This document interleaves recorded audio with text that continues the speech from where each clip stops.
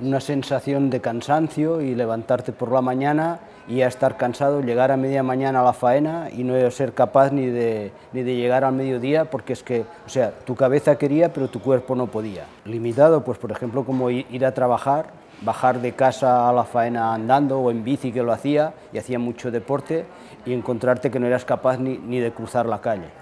Bueno, el paciente pues, vino a vernos a nosotros porque realmente en, en el curso de poco tiempo encontró que tenía mucha disnea, mucho ahogo, que llamamos disnea los, los médicos, ahogo a pequeños esfuerzos, lo cual era un, un señor deportista y eso pues le, dejó muy agobiado y le afectó mucho también psicológicamente.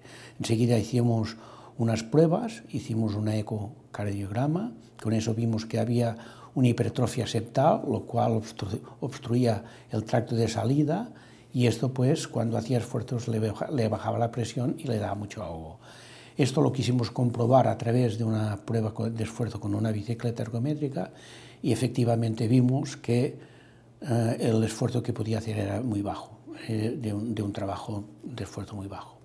Con eso mmm, barajamos las posibilidades de tratamiento y empezamos con el tratamiento médico. El tratamiento médico no nos resultó porque uno le producía mucho radicardia, es decir, el corazón muy lento y lo toraba muy mal, y otro le producía muchas cefaleas, mucho dolor de cabeza. Una vez valorado, habían valorado esta, otras posibilidades, había la quirúrgica, que era hacer una mioctomía, era cirugía cardíaca corazón abierto, y la otra es intentar hacer lo que llamamos una ablación septal, que a través, por vía percutánea, en, entramos en vías en vías arterias septales y con eso hacemos un infarto. La situación es ver si, si, pasados los tres meses, que es el periodo de cicatrización del infarto que hemos provocado, si esa cicatriz persiste, es decir, el espacio de salida persiste ancho. Si persiste ancho pasados los tres meses, quiere decir que eso ya eh, va, va, a durar, digamos, un largo plazo, o sea que esto ya es una, es una solución definitiva. Y una sensación muy buena de,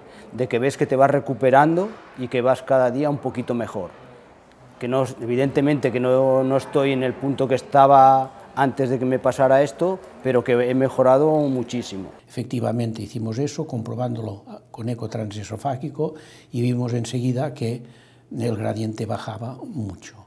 Esto lo pudimos ir comprobando a lo largo de la semana que estuvo aquí, que realmente pues esto fue un éxito pues total.